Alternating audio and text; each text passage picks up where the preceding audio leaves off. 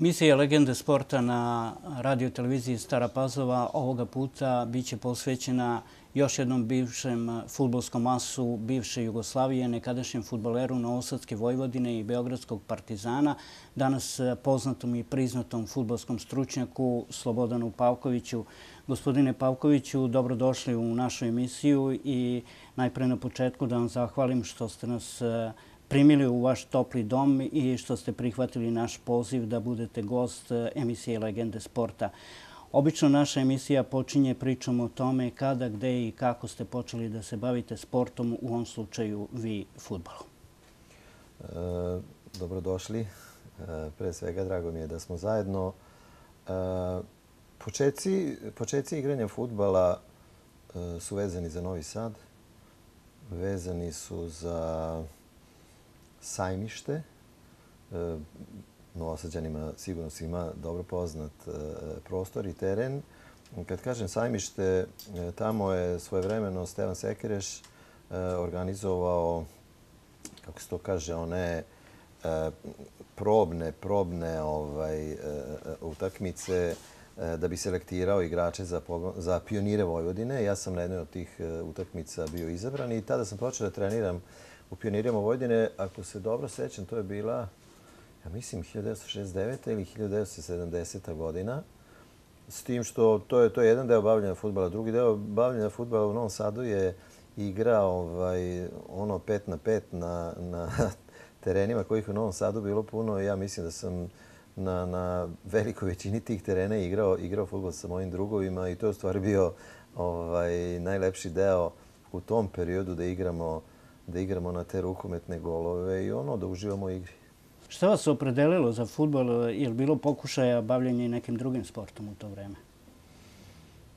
E, baš prošle nedelje smo gledali Moku Slavnića koji je gostovao kod Ivana Ivanovića i rekao da se bavio se 11 sportova.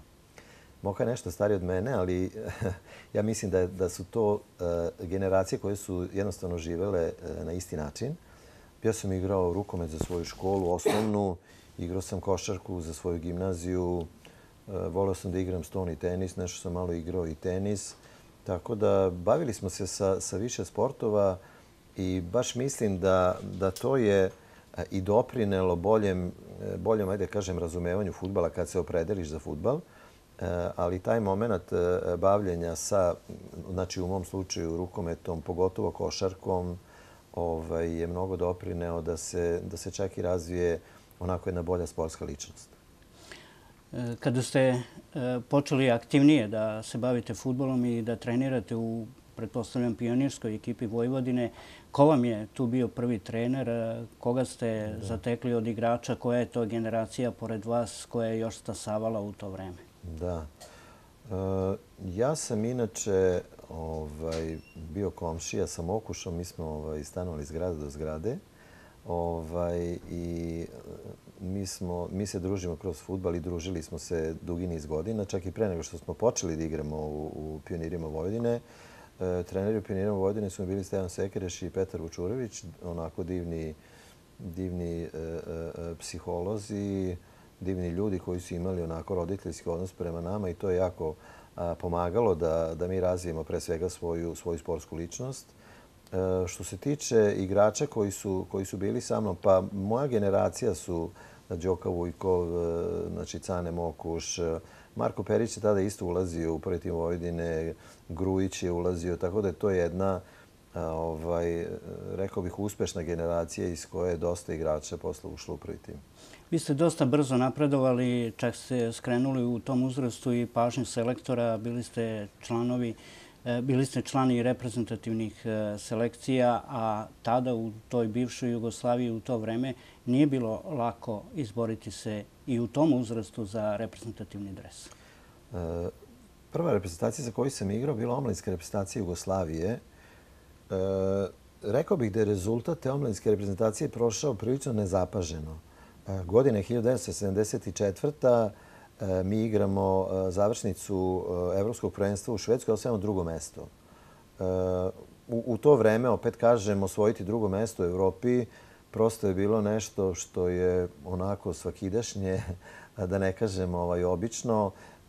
gde vidimo danas kako se na, na sasvim drugi način vrednuju ti rezultati. Tako da upravo zbog atmosfere koja je tada vladala, to je prošlo dosta nezapaženo. Ovaj, s tim što sljedeći, sljedeći korak koji se ja napravio je igranje za mladu reprezentaciju, gdje sam u nekim utakmicama bio čak, čak i kapiten, nije moglo da prođe nezapaženo jer se 1978. godine smo bili prvaci Evrope. Ja nisam igrao finalne utakmice protiv, protiv Istočne Nemačke, ali znači u tom periodu od 74. do 78. naše e, reprezentacije, znači omladinska mlada reprezentacija su bile na jako visokom nivou. Igrali smo jako dobar futbal i istovremeno ovaj, osvajali, osvajali znači, vice šampionat 74. a 78. smo bili ovaj, prvaci Evrope. Možda je to uh, ostalo malo nezapaženo i zbog toga što smo te 74. godine naša A reprezentacija posle 12 godina igrala na svetskom prvenstvu u Saveznoj republici Nemačkoj, pa nekako u toj euforiji bilo sve podređeno uh, tom putovanju u Nemačku. Da, da. Tako je, ovaj, jako se dobro sećam toga. Pre svega sećam se jako dobro ovaj, dve utakmice, dakle one u Grčkoj kada je Karasi dao gol u posljednju minutu, majstori se protiv Španije kada je Katalinski dao gol i sigurno, sigurno da je, da je prosto nacija bila u velikoj euforiji zbog tog uspeha i načina na koji smo eh, na koji smo otišli na, na svetsko prvenstvo. Istovremeno, to, eh, to omladinsko prvenstvo i svetsko prvenstvo je igrano u, u malom, malom razmaku, tako da moguće da i zbog toga to prošlo nezapaženo. Inače, e, na tom, na tom evropskom prvenstvu, e, u, znači u mojoj generaciji igrao je Đoka Vujkov sa mnom. Mi smo dugo igrali ovaj, zajedno. E, od, ajde da kažem, kasnije ponosnih igrača, Aranđel Todorović je bio kapitan te reprezentacije koji je već igrao za prvi tim Partizana. Janjanin je igrao tada sa nama, Šestić je bio, Krančar, tako da bilo je ovaj, zaista ono što kažu umetnika i u toj reprezentaciji. Ko je bio golman sad kad se već podsjećam? Golman je bio vlak iz, iz Dinama. E, ta 1974. godina, pored uspeha sa omladinskom reprezentacijom, donela vam je i prekretnicu kad je u pitanju dalje bavljenje futbolom. Postali ste profesionalac u pravom smislu te reči. U Vojvodini se desio jedan, e, da kažem, futbolski zaokret e, kad je u pitanju ekipa. Gojko Zec je otišao u Rijeku da bude trener, a na kormilu kluba dolazi jedno veliko i proslavljeno ime e, futbala tadašnje Jugoslavije, Todor Veselinović, koji dolazi iz inostranstva, ako se ne varam, iz Kolumbije ili tako nešto, i preuzima jednu e, mladu, ali dovoljno ambicioznu ekipu s kojom ostvaruje jako dobre rezultate. Vi ste ušli u tu ekipu, evo malo pre, pre nego što smo krenuli ovaj zvanični deo naše priče, podsjetili smo se te ekipe i tog vašeg debija pred e, futbolskom javnošću e, tadašnje Jugoslavije, jer je tadašnja televizija direktno prenosila taj meč i čuvena utakmica sa Hajdukom, koji je tada od 11 igrača imao 9 reprezentativaca, ali su u Novom Sadu poraženi sa 2-0. Da, samo da, da dodam nešto. Vi ste rekli da je, da je Gojko Zeca otišao u rijeku. E, mislim da ima nešto važnije što se dogodilo u tom trenutku vezano za Vojvodinu. Vujadin Boškov je otišao iz Vojvodine. Tako da, u Fejnor, u Den Haag. U Den Haag. Tako da ovaj, to je mnogo bitnije jer Gojko Zec je samo bio trener kod Vujadina Boškova. Vujadin Boškov je ovaj, e, dakle, kao tehnički direktor u stvari e, e, odlučivao o, o mnogo čemu i bio, mislim, veliko ime, velike legenda, legenda kluba. Tako da je taj moment bitan s tim što sam ja već tada ulazio u prvi tim. Odigrao sam, ja sam svoju prvu utakmicu za, za prvi tim odigrao 73. godine u stvari e, e, u Zenici. Ušao sam drugo polovreme proti Čelika, tako da već i za to vreme dok je Ujadin Boškov Boško još bio tamo, ja sam ulazio, ulazio u prvi tim. E, 73. četvrta sezona je bila zaista neuspešna. Ja mislim da smo mi izborili opstanak u ligi možda čak u posljednju utakmici igrajući nerešno proti Zagreba u Novom Sadu. Zagreb koji imao ovaj, izvarednu ekipu sa ono, Markulin, Čopa, Močivo, Ruka, Rukljaš, Smolek, zaista, zaista izvaredna ekipa. Tako je. Ovaj, e, onda je došao, došao Toza sa, kako bih rekao, sa, sa svojom veličinom, sa, sa svojim uh, futbalskim talentom, sa sa svojim šarmom i unao nešto sasvim drugo u ono što je do tada postojalo. Imao je hrabrosti da stavi i Vujkova i Mokuša i mene koji smo bili zaista klinci. Imao je hrabrosti, možda mogu čak da kažem i znanja da stavi Peru Nikizića na, na klupu, pošto u onome što je on želao jednostavno nije se uklapao način na koji, na koji je Pera igrao. I ovaj, mada je Pera isto, isto legenda, legenda Vojvodine. I e, onda dolazi ta, ta sezona 74-75, kad smo bili drugi, kad smo igrali jako dopadlji futbal. On nam je dozvoljavao improvizaciju, e, hrabrio nas da, da sami donosimo odluke, da, da ispoljavamo svoju individualnost i opet kažem svojim šarmom, veličinom i futbolskim znanjem učinio da, da se napravi jedna sasvim nova priča i da Vojvodina te sezone bude zaista hit. Ta utakmica sa Hajdukom i ajde, sad ste rekli da nije baš debitantska bila, ali na neki način bila je utakmica koja je, pored kompletnog sastava Vojvodine, promovisala i vas jer ste proglašeni za najboljeg igrača na tom meču. Da. E, to je ovaj to je prosto kao, kao san, pogotovo za, za jednog e, mladića iz Novog Sada koji e, sve vreme sanja da jednom zaigra na, na stadionu Vojvodine, dobiti takvu šansu, e, odigrati, e, odigrati tu utakmicu, pobediti 2-0, dati gol, ja sam dao drugi gol na toj utakmici, to mi i danas ovaj, liči na jako lep san. Ostala je priča, vi ćete sad reći da li je tačna, ali tada su novine ovako malo drugačije pisale, da vam je sve vreme trener Veselinović eh, sa klupe govorio da se igrate futbola, ne da igrate futbol, već da se igrate futbola i da se zabavljate u onom smislu da je to u službi ekipe, ali da vam je u stvari dao potpunu slobodu na terenu. Jeste, jeste. To je bio to je bio deo njegove strategije, deo njegovog viđenja futbala, eh, nešto što je, što je jako pomagalo meni da dobijem samopouzdanje. Znači, ako mi trener sa klupe kaže da prvam da gurnem kroz noge nekom od igrača, što, što je ponekad i, ajde kažemo, pocenjivanje protivnika, ali istovremeno to daje, to daje veliko samopouzdanje i zahvaljujući tom samopouzdanju i podršci, onda odigraš ovaj, možda čak i bolje nego što možeš. Možda bi bilo e, lepo sad kad pričamo sa vama da pomenemo, vi ste e, apostrofirali vašu generaciju i vaše drugare, Đorđe Vujkova, Šandora Mokuša, ali bili su tu i još neki drugi igrači, tada vrlo poznati i provereni prvoligaški e, futboleri u tadašnjoj Jugoslaviji. Recimo na golu je stajao jedan Ratko Svilar, golman koji je branio i u reprezentaciji i mnogo toga postigao u svojoj karijeri. Ratko Svilar je tu sezonu odbranio fantastično i ja uvek govorim da, da je to najbolja odbranjena sezona koju sam ja video u svom životu. Tako da jedan od, od e, bitnijih faktora, možda najbitniji faktor u, u osvajanju vice šampionata je bio to što je on branio prosto neverovatno. S tim što istovremeno imali smo mi ovaj, veliki potencijal. Imali smo Novoselca koji je bio, u to vreme se igralo sa Liberom koji je bio jedan od najtalentovanijih Libera u, u Jugoslaviji. Iako Nikez je bio na klupi, on je odigrao dosta utakmica, e, znači veličina za sebe. Zvonko Vizić koji je izvaredan bio e, Lerinc, Trifunović koji je igrao izvaredan tog defanzivnog veznog. Tako da, Bilo je to, bio je to skup jako dobrih, Vasar Utonski, tako je, bio je to skup jako dobrih pojedinaca. Jer ono, ono što, samo da kažem, pošto se dugo bavim terenskim poslama, bio sam i tehnički direktor, ono što ja stalno govorim i što sam pokušavao da, da učim svoje trenere, da bi se napravio veliki tim, e, vrhunski tim, e, potrebno imati vrhunske pojedince.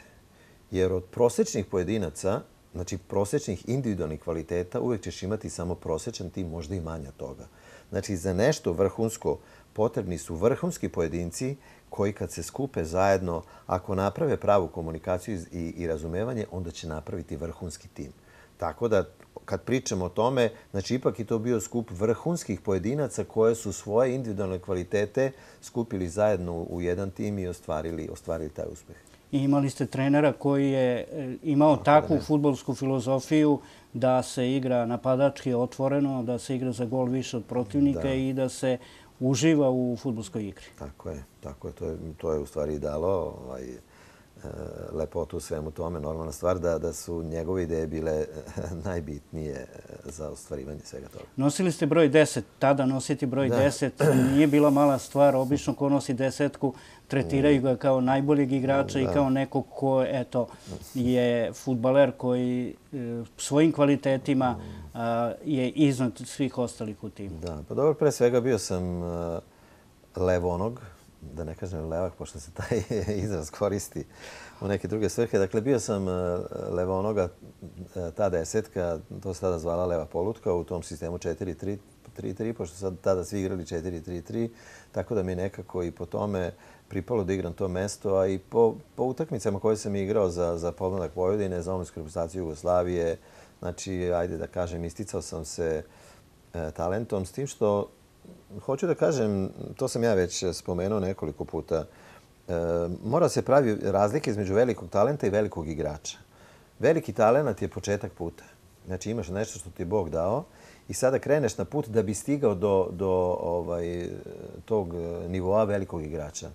Ja sam na tom putu negde zastao, ne znam ni, sad, ni sada tačno gde, ali nisam uspeo da ostvarim to da od velikog talenta dođem do, do velikog igrača. Ako sam igrao i za omlinsku reprezentaciju, i za mladu reprezentaciju, dve nezvanične za, za reprezentaciju, ali kad vratim filmu nazad, ovaj, trebalo, je, trebalo je nešto više i sa moje strane i sa strane drugih da bi se stiglo e, do tog nivoa velikog, velikog igrača. Kad kažem to, mislim u svetskim razmerama.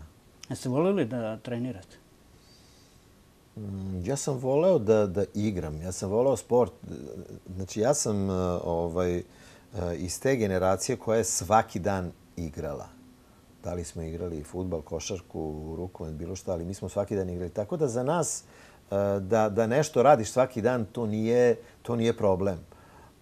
Problem može da bude ako taj trening koji ti obavljaš ne ide u pravcu u kom bi ti želeo da, da ide, ali nisam ja nikad imao ovaj problema sa tim da e, ne želim da treniram ili da izbegavam treninge. Ja sam pre svega voleo futbal, mislim volim ga i sada, a kad voliš futbal onda ti trening ne pada teško.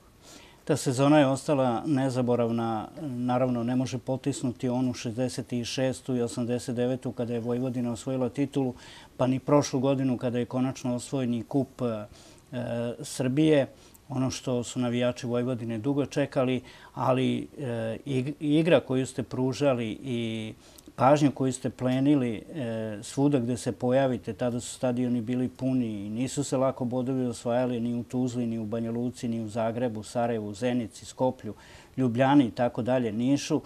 E, ostala je nekako najviše e, zabeležena utakmica u Splitu i lekcija koju ste očitali Četi Tomislava Ivića koji je već tada išao nekom uzlaznom linijom svog trenerskog posla sa tom sjajnom generacijom Hajduka, Šurjakom, Mužinićem, Buljanom i tako dalje. Vi ste ih tamo u pravom smislu te reči u futbolskom žargonu pregazili sa 4-1. Da. Pa opet, opet iza svega toga e, stoji, stoji Toza Veselinović, stoji njegova ličnost, njegov pristup ovaj, e, futbol utakmicama jer e, prepun samopouzdanja, on je pre tu utakmicu stalno govorio da idemo da im damo tri komade. To je kao ono, nije podcenjivački, ali, ali ipak nešto što, što bodri ekipu. Tako da smo mi otišli e, na tu utakmicu sa, sa, sa, tim, e, sa tim razmišljanjem. Dakle, idemo tamo da pobedimo to, to nije ništa neobično, to je nešto što, što mi e, radimo iz utakmice u utakmicu. Tako da, opet, ta, stvaranje te atmosfere, e, normalna stvar e, e dobre pripreme i opet dobar igrački kadar je učinio da, da u, pa neću da kažem da napravimo nešto neverovatno, ali za, zaista bilo ovo je veliko iznenađenje da ih tamo dobijemo 4-1. Šta je nedostajalo da osvojite titulu? Pa dobro, teško je, teško je to reći. Ovaj, mi kad smo, ja bih rekao, mi kad smo ulazili u tu sezonu, pre svega naš cilj uopšte nije bio, odnosno niko nije govorio o tome idemo, idemo sad da osvojimo prvenstvo Jugoslavije, pošto, kao što sam rekao, prethodnu sezonu Vojvodina je jedva ostala u, u ligi. Tako da išli smo sa tim da, da igramo što bolji futbal, eh, da pokušamo da uradimo ono što je najbolje možda, to što smo radili u tom trenutku bio naš, naš domet. Možda jednostavno prvak je bio, prvak je bio bolji od nas i, i to je tako u sportu. Iako te dve utakmice nije pokazao na terenu. Pa.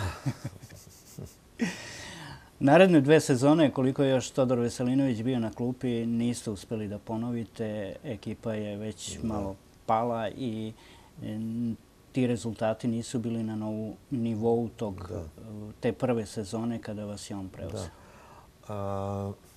Ono što, što je što je bilo naj, naj, kako bih rekao, naj, najteže, ono što je bio najveći udarac je to da se ekipa osula. Jer od tog napada, znači Lerinc, Ivezić, e, recimo Vučković, ja e, ili Činar, istovremeno Nikezić i, Vučković, i Vučeković, ovaj, Adžić takođe. E, iz te ekipe odjednom Adžić odlazi u inostranstvo, e, Peran Nikizić odlazi u vojsku, Zvonko Vizić odlazi u vojsku, Lerinca odlazi u vojsku, mislim da čak i Vučeković, tako da smo mi odjednom došli u situaciju da, da nemamo napad od, od, od e, one petorke, pošto smo imali dva krila, polutku i, i, i centar fora, od, od, od celog tima ostao samo ja. Tako da sljedeće sezone ekipa se osula. Mislim da, da klub uh, prosto nije bio spreman e, na tako nešto. Nije reagovao blagovremeno u smislu da, da za te igrače, za veličinu tih igrača pokuša da dovede e, igrače koji su jednostavno na, na istom nivou kao što su oni. Došlo je e, dosta mladih igrača koji su popunili ta mesta, ali nisu uspeli da, da odgovore zahtjevima i nisu uspeli da igraju na nivou tih igrača koji su odjednom, odjednom nestali. I posle toga uh, zaista je bilo jako teško igrati na istom nivou kao što smo igrali prethodnih sezona ali stadion je uvijek bio pun, navijači su vas bukvalno obožavali. Da. Pa opet kažem, e, e, ja mislim da iza svega toga Toza Veselinović, njegovo viđenje futbala, njegovo viđenje možda života, mislim sada kad, eh, kad je prošlo puno vremena i kad ja već radim jako dugo kao trener, eh, u, u, svakom, eh, u svakom takmičenju postoje, postoje dva dela. Znači, jedan deo je rezultat koji je uvek bitan, čak i kod dece, ja to kažem. Drugi deo je taj nivo predstave. I često treneri ne vode računa o tome kakav je nivo predstave, odnosno na koji način dolaze do rezultata, nego jednostavno rezultat je bitan i ništa drugo. U toj situaciji i u filozofiji Toza Veselinovića to nikad nije bilo tako. Rezultat nikad nije bio jedino bitan, nego je nivo predstave bio jako važan.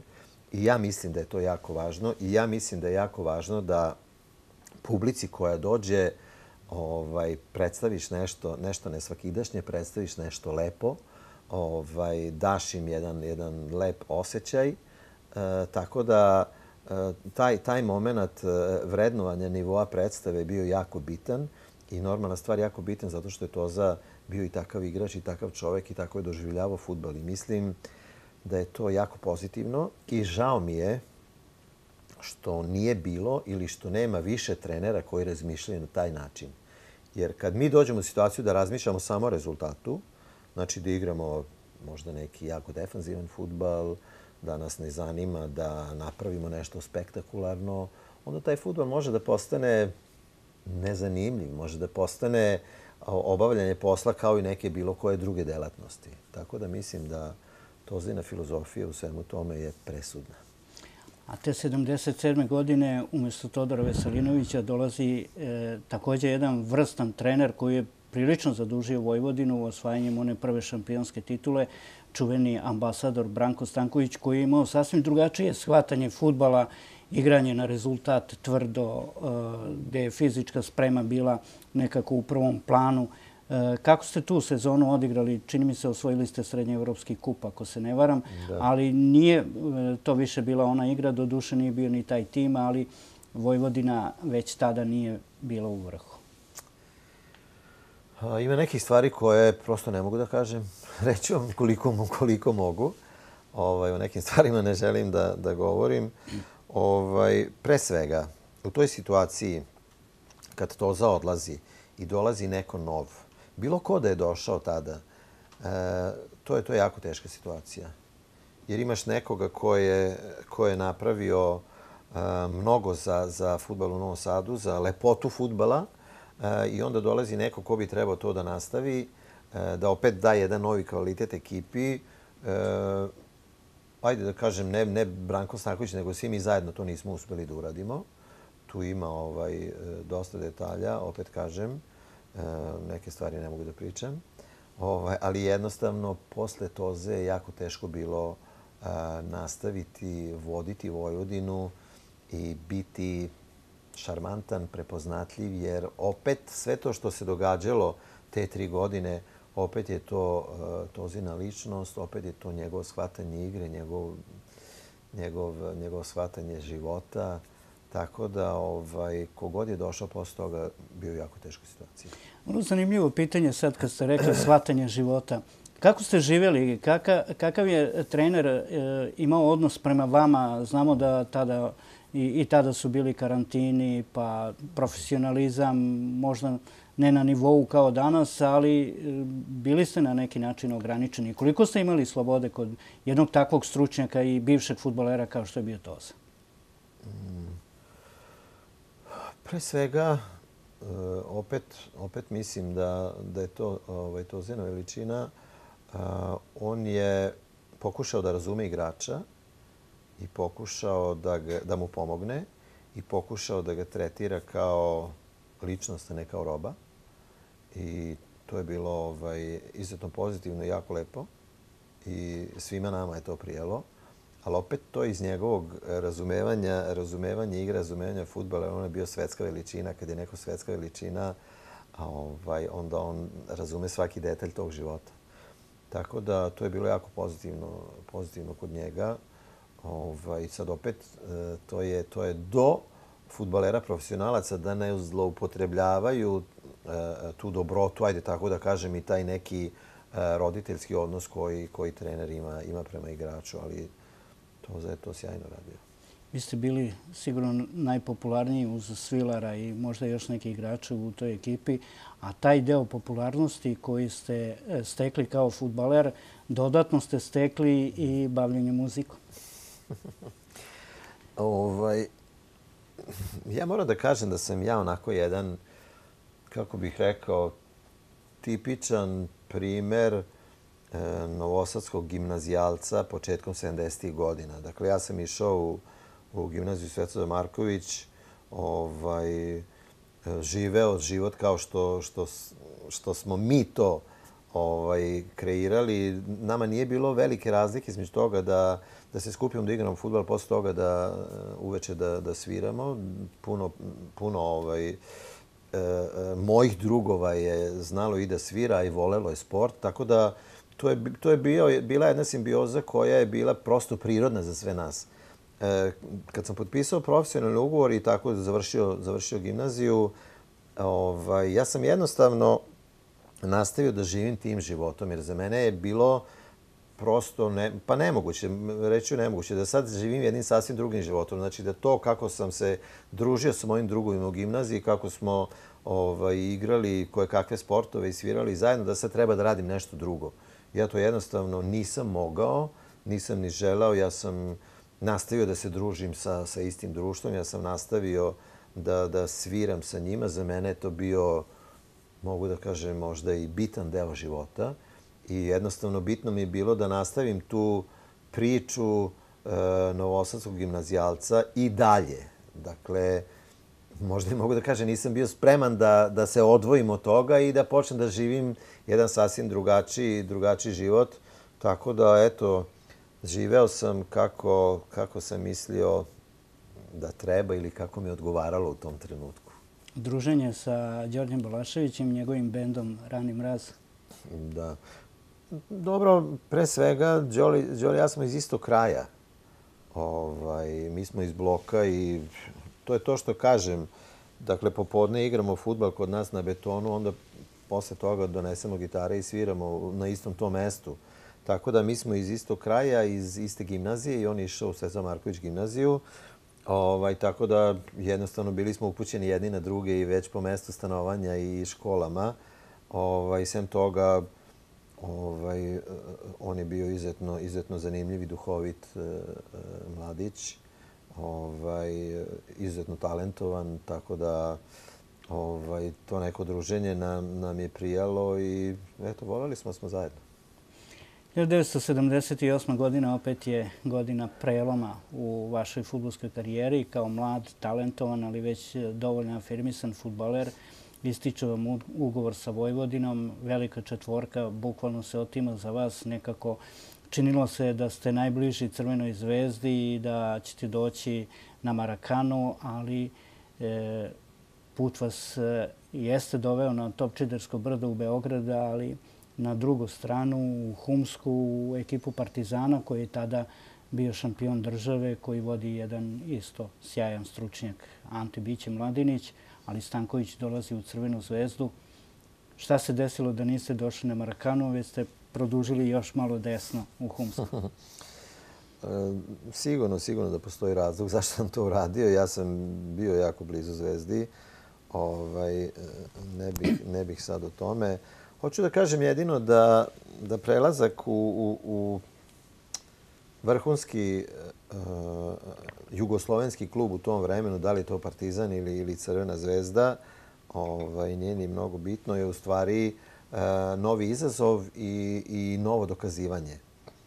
E, posle šest mjeseci se pokazalo da, da ja to neću moći da, da ovaj, ostvarim, bar u tom trenutku.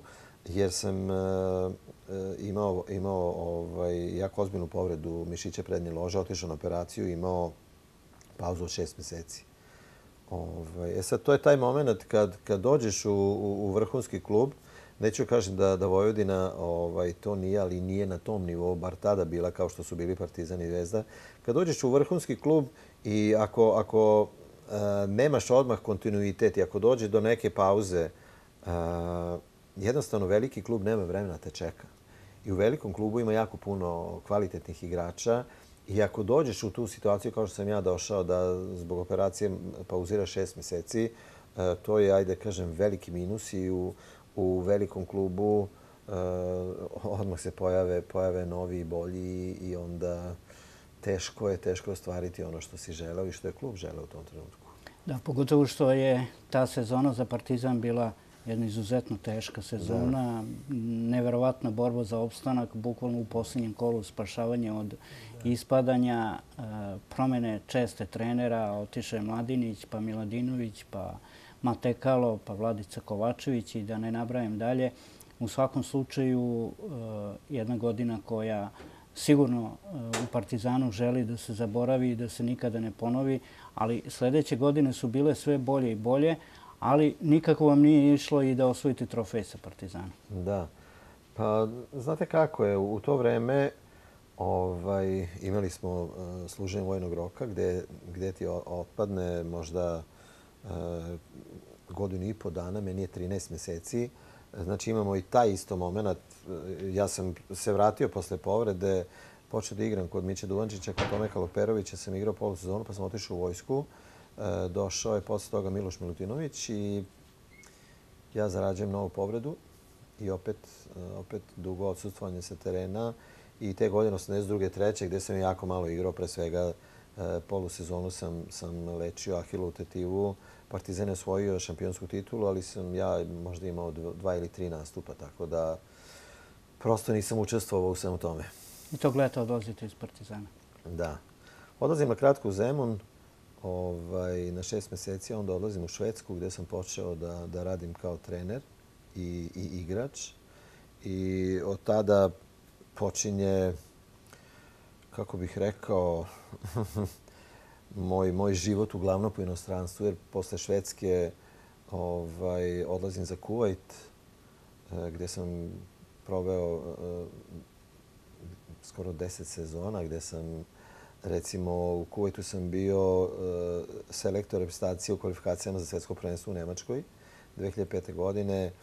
Uh, odlazim kasnije za Oman, za Egipat, a posljednjih 7 godina uh, u Singapur gdje sam bio tehnički direktor Futbolske federacije.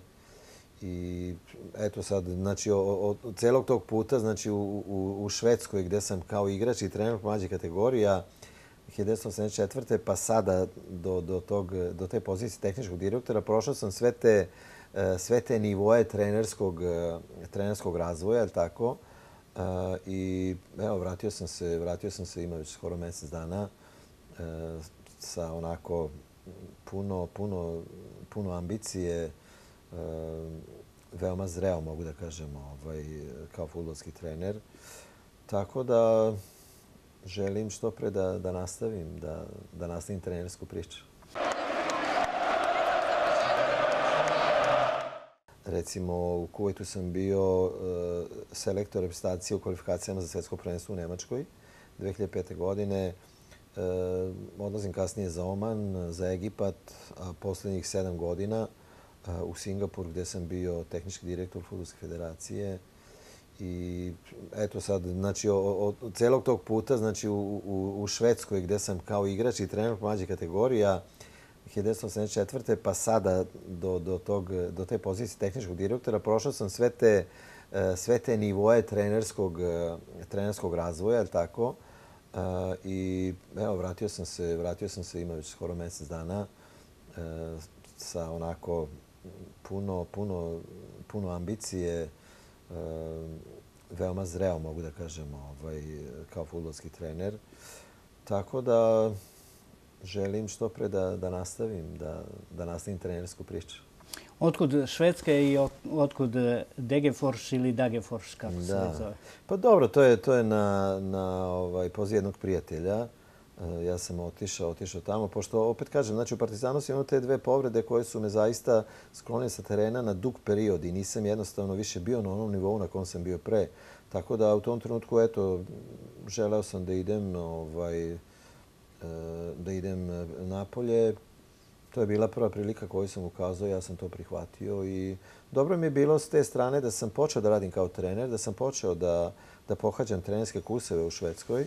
Tako da sa te trenerske, trenerske strane mislim da je to bio dobar potez. Kad ste odlučili da postanete trener? Pa eto, čim sam otišao u Švedsku, da ja sam bio istovremeno ovaj, igrač i trener i, i tada, sam, tada sam počeo to da radim. Sada, sada mogu da kažem da je to bila dobra odluka. Jer mislim da imam e, sposobnost da znanje prenosim drugima. Ovaj, jako volim taj posao. Posvećen sam i mogu da kažem da sam dosta dosta toga, dosta toga uradio. Znači imam tih pet knjiga koje sam, e, e, ili učbenika koje sam uradio u, u Singapuru za vreme tog posla tehničkog direktora. Imam puno, puno video analiza. Neki sam već počeo da pokazujem ovde na televiziji. Tako da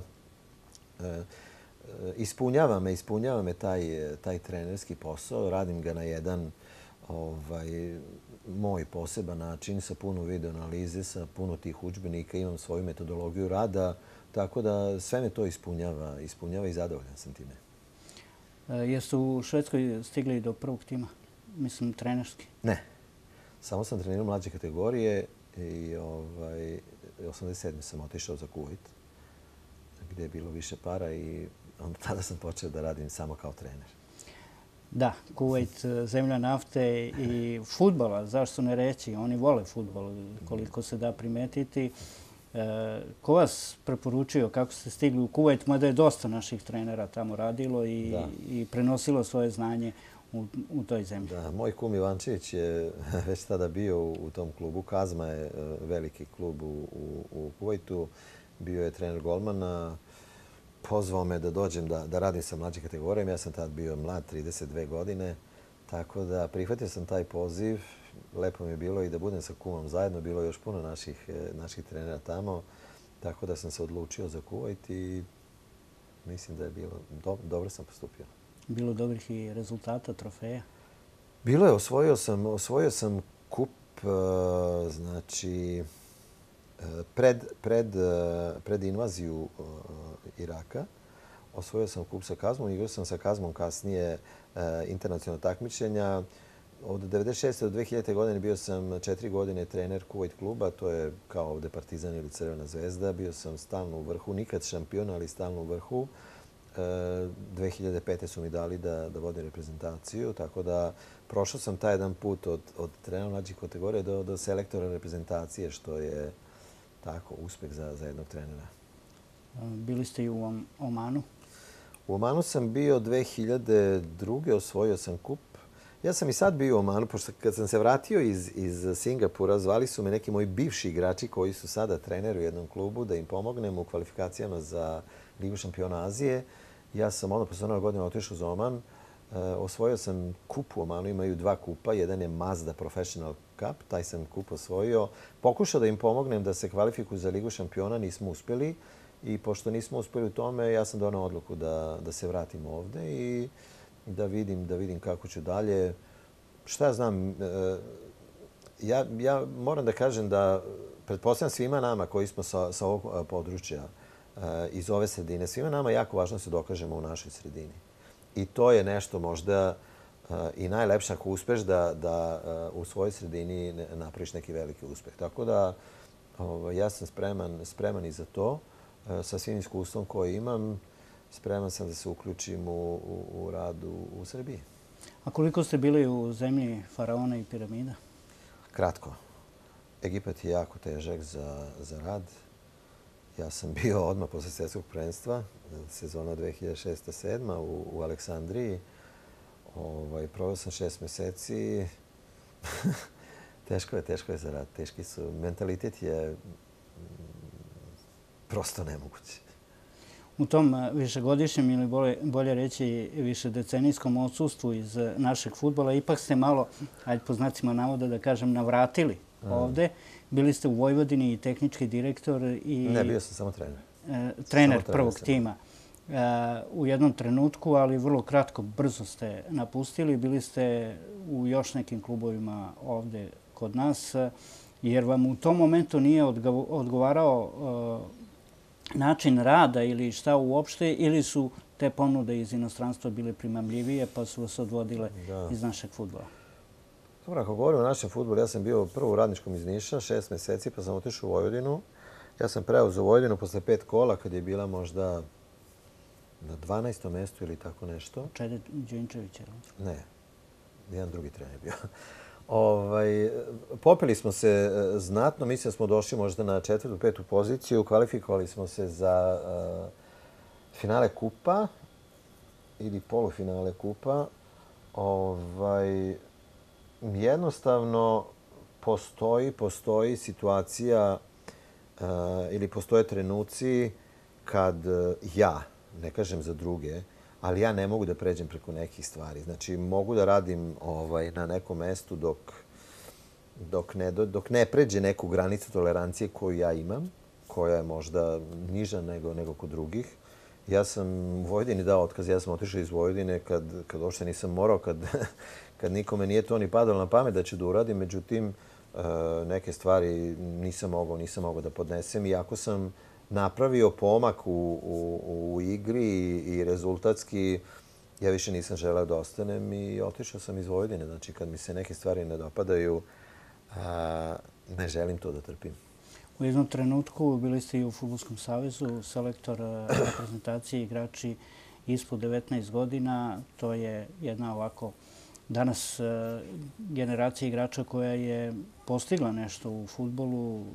Basta, Kahriman, E, još Janković, Perović, e, Milovanović. Da. Nije vam se posrećilo da odete na Evropsko prvenstvo, da. ali satisfakcija je verovatno to što su ti momci da. kasnije postigli dobra pa, karijera. Pa ja sam preuzeo tu generaciju 8-4 koja je bila ovaj, apsolutno zapuštena. Preuzeo sam ih možda 10 meseci pre, pre kvalifikacija za, za Evropsko prvenstvo ovaj, generacija je bila talentovana. Dakle, spomenuli ste Kahrimana, tu je bio Basta, tu je bio Duško Tošić, e, normalna stvar Krasićko koji je već bio sa mnom u Vojvodini, Boško Janković, ovaj, Purović, Mrđa. Talentovana reprezentacija, međutim, e, ne znam, ne znam kako je sada, ali u to vreme, e, znači mi smo došli u tako lošu situaciju da pred drugi krug kvalifikacija E, četiri igrača budu povređena. E, budu povređena zbog toga što imali su ono što kaže Englezi overload, imali su previše, previše utakmice, previše takmiča, pošto dosta njih je već igrao za prvi tim. Tako da smo mi otišli na drugi krug kvalifikacija bez Baste, Duška Tošića, Krasića i Ninkovića. Nine iz Čukaričkog, ja sam njega istuzao. Znači, ti ako odeš na drugi krug kvalifikacija bez ova četiri igrača koji su, koji su starteri, e, mislim, a ružno zvuči, ali ti odlaziš sa drugim timom. Jer normalna stvar da su Basta i Duško Tošić bili dragoceni. Krasa u to vreme je bio e, odmah uz Boška Jankovića. Ninković je bio ovaj, jako bitan igrač. Tako da smo otišli bez ta četiri igrača. Igrali smo Austriji, prve utakmice dobili 5-0 Makedoniju i Kipar, onda izgubili od Austrije 2-0 i, i nismo se kvalifikovali. E sada veliki broj tih igrača je kasnije igrao za, za A reprezentaciju to je, to je jako, ovaj, jako dobro. S tim što sam čuo trenutno te priče kod mlađe kategorije, da li je važniji rezultat ili je važnije da, da izbaciš ovaj, igrače u prvi tim. E, meni se e, taj, taj način priče ne dopada. Ovaj, u, u, u toj priči ja mislim da, da ta dva dela e, ne postoje. Postoji samo jedan deo. Postoji samo rezultat koji je uvek bitan i ne možeš da kažeš pa nisam imao rezultat, ali, sam, ali su ne znam koliko igrača otišli u prvi tim. Ne. Rezultat je uvek jako bitan, ali ono što je najbitnije je način kako se dolazi do rezultata, a dobro, posle toga, kroz sve to izaći će talenti koji će zaigrati za, za reprezentaciju. Tako da priča ili ili za mene ne važi. Rezultat je uvek bitan, ali je najbitniji način na koji dolazi do rezultata. Kad to kažem, ovaj, um, opet iz, iz mog iskustva, znači ja sam radio 7 godina kao tehnički direktor, kao tehnički direktor ti prvo moraš da napraviš filozofiju igre.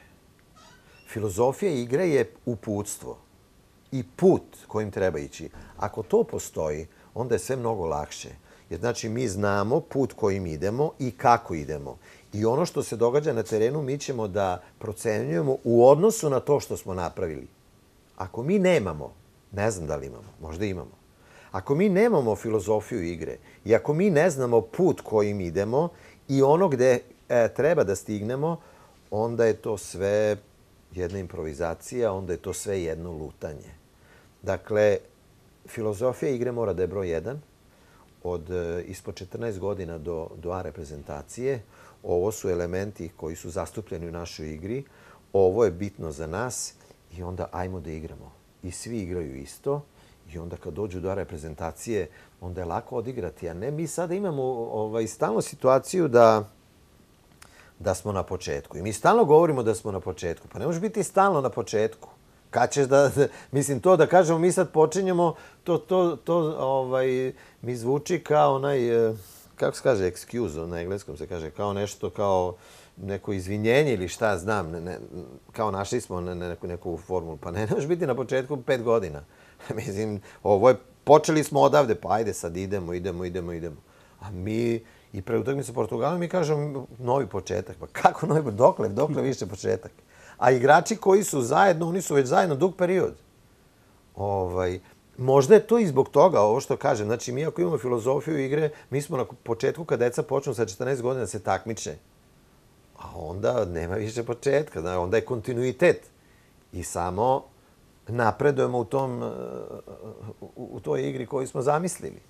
Bilo je još nekih ponuda iz Futbolskog saveza da budete na određenim funkcijama niste se ovaj, ili dogovorili ili pa tu vašu futbolsku filozofiju pa ne, nisu... nismo se, nismo se dogovorili. Ne, nije, nije uopšte bilo priča o tome. Ne, nismo se dogovorili. Nismo se dogovorili. Ja sam se vratio ovaj, Eh, za Singapur tada. Nastavio sam, nasljedno u Singapuru. Ovaj, ali, ali sad sam se vratio ovde sa, ajde kažem, puno iskustva. Neću da kažem sa puno znanja, da, da, ne, ispade, da ne ispade da, da ovaj, imam jako lepo mišljenje na sebi, ali sa puno iskustva, sa pet urađenih učbenika, sa jako mnogo video analiza, siguran sam da u ovom trenutku imam, imam eh, mnogo toga da ponudim ovoj sredini. Tih sedam godina u Singapuru, obično kažu kada se pomene Singapur i futbol, da je to jedna ovako mala futbolska zemlja. Mm. Kakve nosite uspomene odatle i utiske? Mm. Mm.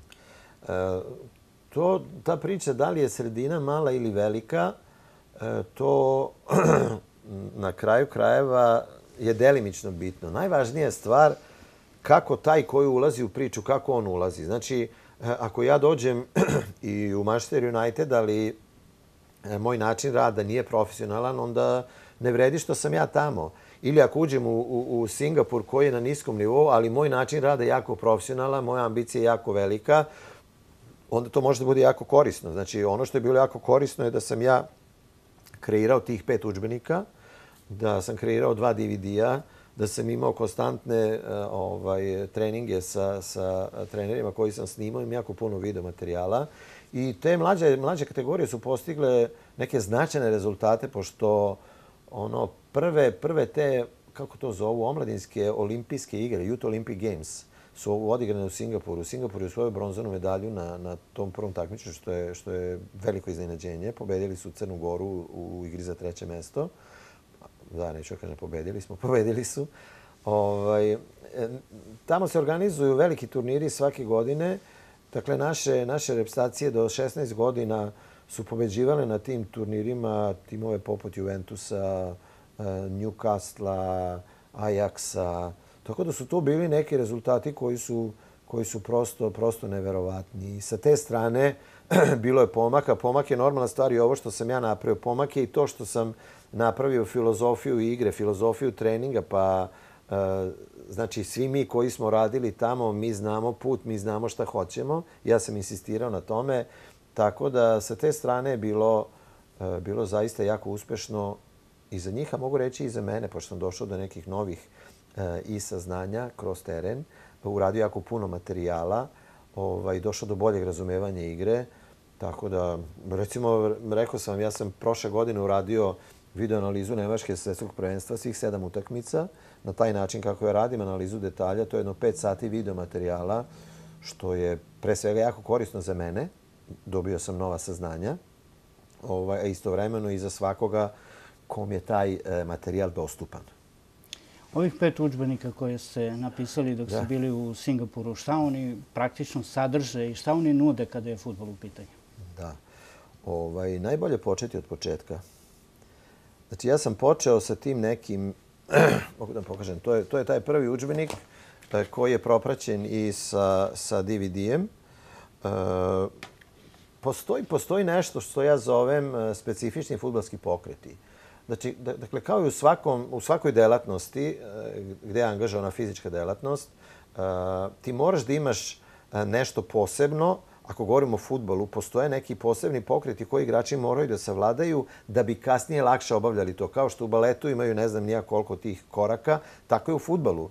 Ja imam ovde, to su basic moves, ja to tako zovem, e, ja sam to ovaj, e, prikazao na videu, ja demonstriram sve to i počinjem sa, sa vežbama, ovaj, ja kažem, kontrole lopta i tela ili ajde kažemo sa tehnikom. Tako da imam jako puno ovaj, E, tih vežbi. Znači, moja prva knjiga je koncentracija na kontrolu lopte i tela, odnosno na tehniku.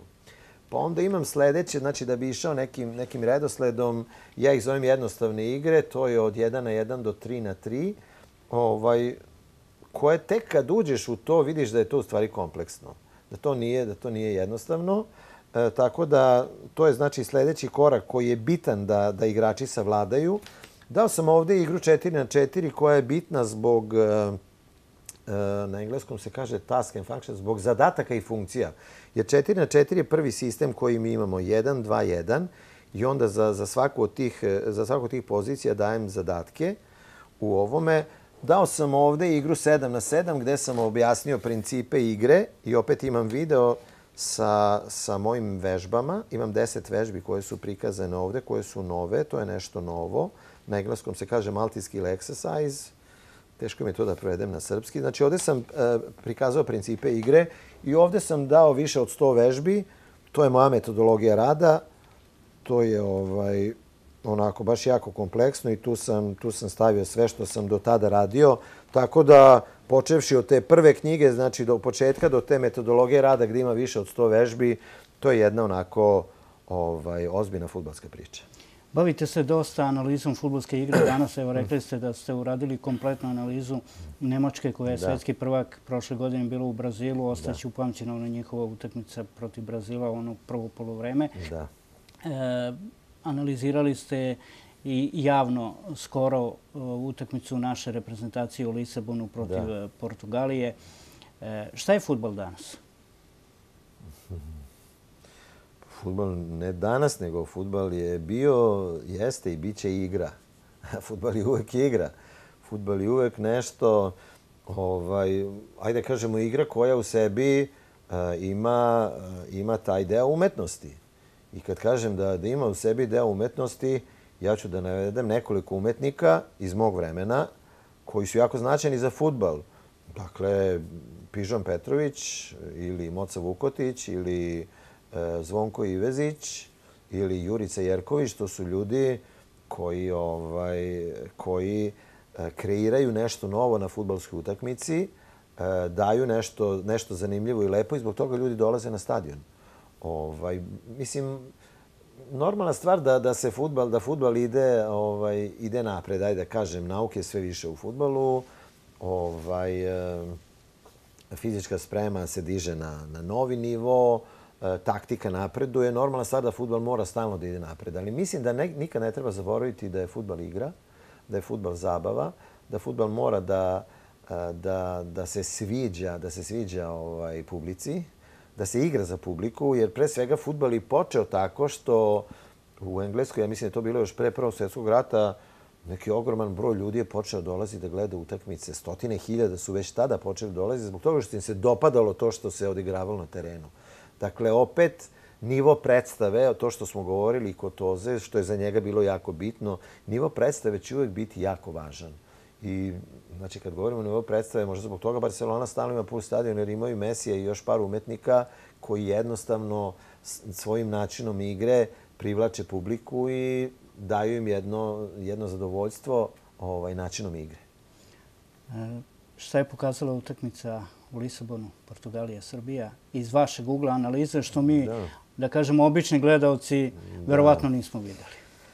Dobro, ja sam za, za TV emisiju, odnosno uh, usmerio sam ka tome, napravio pet pozitivnih pet negativnih uh, detalja sa te utakmice. Kad govorimo o tim, o tim negativnim, znači prvo, pred, pred prvi gol mi imamo tu promenu posljeda lopte koji nam je veliki problem, uh, gde igrači ne igraju kvalitetnu odbranu i mislim da nam je generalno uh, E, problem e, u odbrani, odnosno u, u e, principima odbrane. Mislim da to nije na visokom nivou. Ovaj, sad da ne ulazimo mnogo u, u tu priču šta su principi odbrane, znači pritisak na loptu, gustina, igrači iza lopte.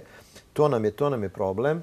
Ovaj, ali istovremeno ja sam uradio pet pozitivnih eh, tih sekvenciji gde vidimo potencijal našeg tima.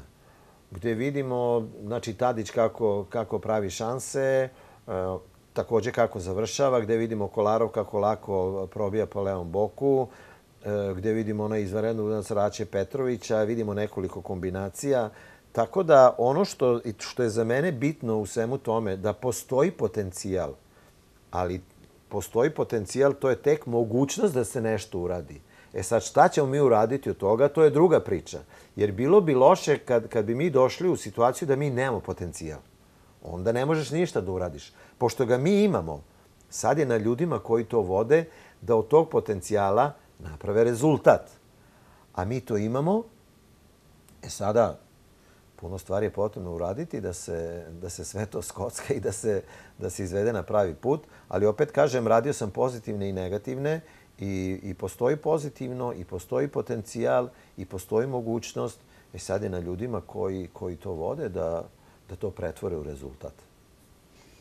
E, Posle utakmice u Lisabonu, uglavnom u štampi sportskoj najviše, provlačila se ta priča da nemamo takozvanog playmakera ili desetku u reprezentaciji, da od vremena Dragana Stojkovića nemamo takvog tipa igrača. I to mi liče onako na priču nemamo, a u stvari mi smo trebali da ga stvorimo. Obično mislim na trenere, jer treneri su vršili tu analizu i iznosili neka svoje mišljenja. Ne znam da li ste to ispratili. E, vi kad ste igrali, bili ste ta desetka, namjerno sam vas pitao zbog toga. Bilo je puno tih desetki tada i danas imamo igrača koji nose broj deset, ali i tada su desetke bile nešto drugo.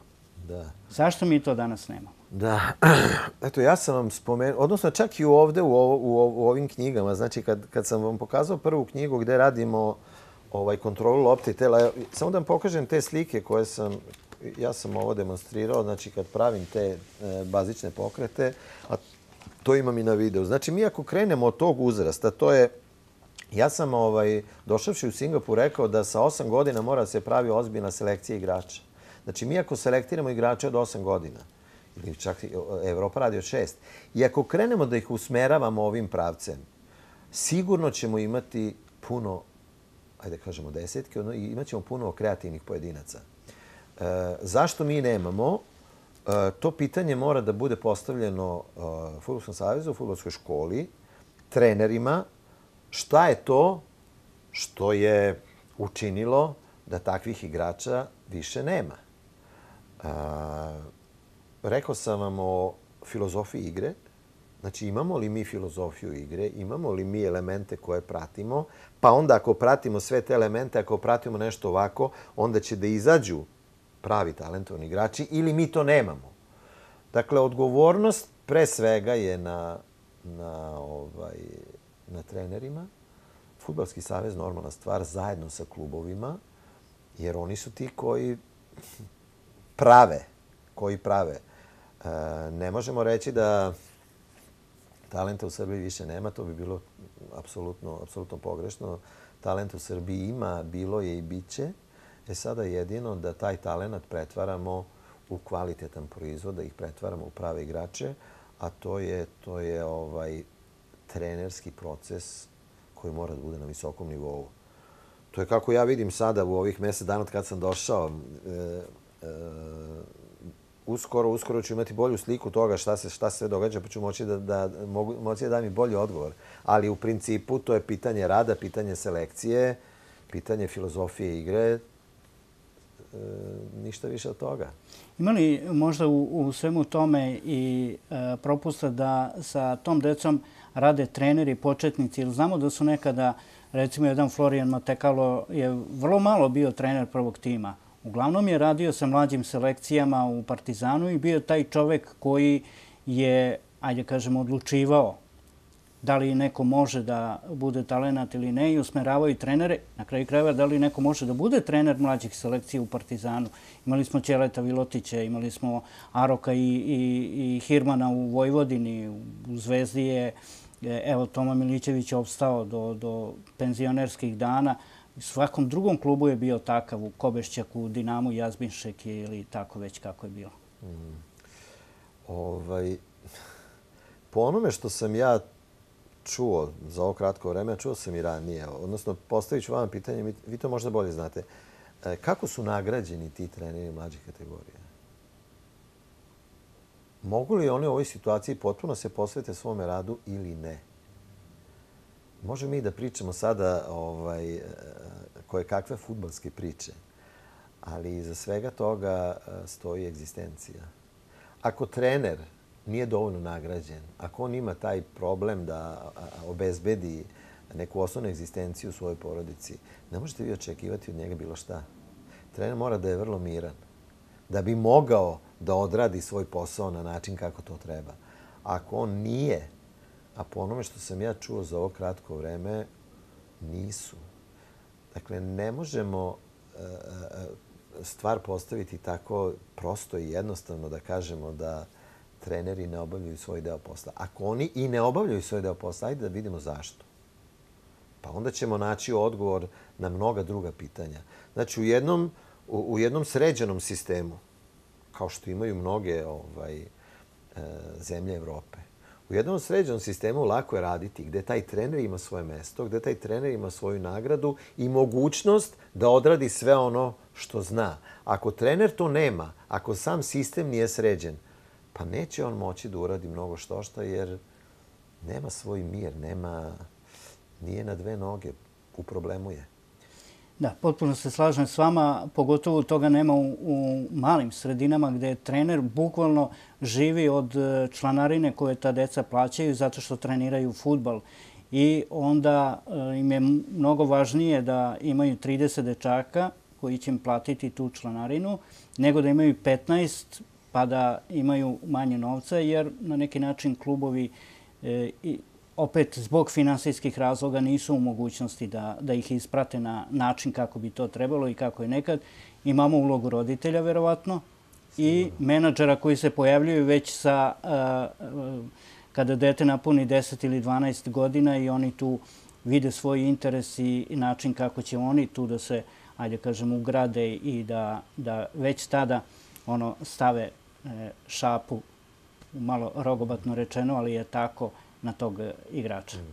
Pa, dobro, sve ovo što ste spomenuli, vi to znate bolje nego ja, to su sve stvari koje prvo moramo da rešimo. A posle toga će biti lako treneru da, da odari svoj deo posla. Ja hoću da kažem da sam ja napravio ovih pet učbenika, ovih dva DVD, zbog toga što sam bio u jednoj mirno sređenoj situaciji i ja sam bio usmeren samo to, na to i ni nešto drugo. E onda kad si u takvoj situaciji, onda je lako praviti, stvarati, raditi profesionalno, raditi ozbiljno. Ali ako nemaš tu sređenu situaciju, ako si u velikom problemu, a ovi problemi ovaj, što ste rekli, to su zaista veliki, ali postoje ljudi koji bi trebalo da, eh, da rade na tome i da pokušaju da, eh, da, da srede tu situaciju da bi treneri imali ovaj, svoj mir i mogućnost da iskažu svoje sposobnosti i da razvijaju, da razvijaju talente. Sada kad ste se vratili u Srbiju, koji vas e, posao više privlači? Da li taj rad sa mlađim generacijama ili bi prihvatili poziv da radite isključivo sa seniorskom ekipom? Ili je to stvar trenutka ponude ili razgovora s ambicije kluba koji bi vas pozvao i, i slično? Da. Mene je uvek najviše zanimao uh, seniorski futbal, mada sam se bavio i ovim drugim zato što je što mi to bila priroda posla.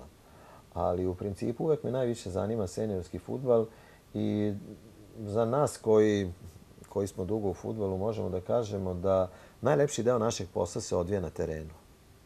Tako da biti na terenu dnevno, raditi s ekipom dnevno, to je ono što je, što je najlepše u našem poslu i to je ono što te ispunjava. Dakle, to je, to je prvo što, što bih ja radio, ako da Bog ovde, ako ne ovde, onda na nekom drugom mestu. E, istovremeno, e, opet kažem, e, e skupio sam jako puno materijala, knjiga, video analiza, tako da e, mogu da radim kao neko ko, ko edukuje, ko obrazuje. To sam radio i ranije. Ja sam bio uključen u sve licence e, u Futbolskom savezu. Tako da možda je to i dobra strana da imam e, nekoliko mogućnosti za, za nastavak posla, ali ipak najatraktivnije, najatraktivnije raditi sa seniorima, najatraktivnije biti svaki dan na terenu. Pročitao sam da vam je uzor u futbolskoj karijeri bio Franjo Vladić. Jeste. Jeste. Sećam se, ovaj, to je bila utakmica utakmica reprezentacije Jugoslavije. Vujadin Boško je bio selektor. Igrali smo, ovaj, ja mislim, na Vemblju protiv Engleski. 1-1. I to je, to je utakmica gdje je Vladić možda bio debitant ili tako nešto. Meni se način kako je on izgledao, kako je on igrao, toliko dopao da eto, to mi je bio, to mi je bio jedan od najvećih idola. A jako je, jako je bitno imati idola u mladosti. Odnosno, jako je lepo imati, e, e, postaviti cilj. Jer ti kad imaš idola e, koji, je, koji je vrhunski, ti onda stremiš ka tome da, da dođeš, da dođeš do tog cilja. Tako da, Vladić jeste, jako sam ga voleo, bio sam jako srećan kad sam došao u situaciju da igram protiv njega bio sam na nekim turnejama e, reprezentacije, a reprezentacije Jugoslavije zajedno sa njim, tako da, eto, stvario mi se sam da igram sa svojim idolom i protiv svog idola. Polako ćemo ovaj razgovor privesti kraju iz prostog razloga što smo i mi ograničeni nekim vremenom, ali verujem da bi imali još mnogo toga da, da ispričamo. Ne mogu da vas ne pitamo, evo, mi sedimo ovdje u Beogradu u vašem stanu i pričamo rođeni ste na Osađenin, kako se na Osađenin osjeća u Beogradu? Dugo niste mm. bili ovde, ali u svakom slučaju živite sada u Beogradu. Da. Dobro, ja sam se ovaj, rodio na Novom Sadu, živeo 23 godine u Novom Sadu, formirao se jednim delom, jednim delom tamo, a onda krenuo na put. Ovaj, ja sam trenutno u Beogradu, ali ja od 78. godine putujem svetom, tako da znači od Švedske, Kuvajta, Egipta, Omana, Singapura, evo sad sam ovde, tako da nekako došao sam do toga da mi je putovanje ovaj, način, način života. Kad ti putovanje način života, ti možeš da budeš spreman da se prilagodiš na svaku, na svaku novu sredinu.